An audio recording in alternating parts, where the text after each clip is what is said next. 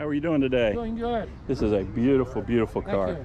It's a driven car. Yeah, I see that. What do you, you want to give me kind of give me the rundown? Tell me about Oh, it. or- it's on the sign basically. I I bought it in uh, 1999, and a year later drove it to San Francisco From from Venice. from Florida. Venice. Really? Wow. And people said either you're crazy. I did it alone.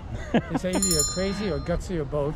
Uh, broke down uh, outside of uh, Sedona because uh, came through the Mojave Desert. It was 110 in the shade mid-October, and put a hole through number two piston. Oh wow. So you did break down then. and it is uh 51 Yeah.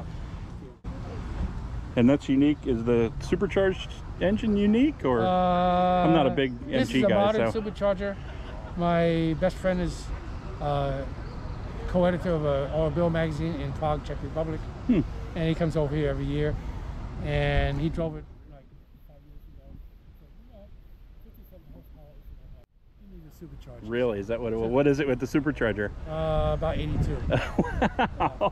He- so he cost me four thousand dollars, but it was well worth it. It was a good wow that is awesome